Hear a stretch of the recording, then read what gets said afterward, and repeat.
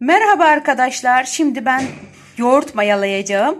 Mayalayacağım yoğurdun içinin probiyotinin daha çok fazla olması için böyle bir kapsülüm var. İki tane bu kapsülden ekleyeceğim mayamın içine. Mayayı süt ve e, bu kapsüllerin içeriğini boşaltarak iyice karıştırdıktan sonra tenceremdeki sütümün içine ilave edeceğim. Öncelikle kapsülümü açtım. İçindeki özel probiyotik mayasını yoğurdumun içine ilave ettim. Diğer kapsülü de ilave edeceğim. İkinci kapsülü de ilave ediyorum. Kokusu tıpkı hamur mayasına benziyor. Böylelikle yoğurdumun değerini daha çok fazlalaştırmış olacağım. Bağırsaklara daha faydalı bir yoğurt elde etmiş olacağım.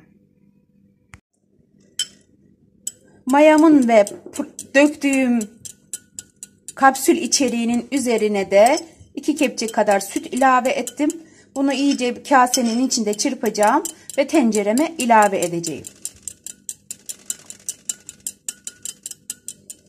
Bir de kışın yoğurt mayalarken mutfağınız serinse mutfağınızın camını sürekli açık tutuyorsanız ya da mutfağınızda ısıtıcı bir şeyiniz yoksa yoğurdunuzu götürüp oturma odasında mayalayabilirsiniz. Oda sıcaklığında yani. Onu da yapmak istemezseniz fırınınızı sıcak ılık kıvamına getirdikten sonra fırında da mayalama yapabilirsiniz.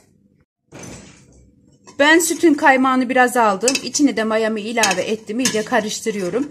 Çünkü Emin yo yoğurtta kaymağı sevmiyor. Benim yoğurdum çok az kaymaklı olacak. Onu da üzerinden alıp yoğur, ayranımı öyle yapıyorum.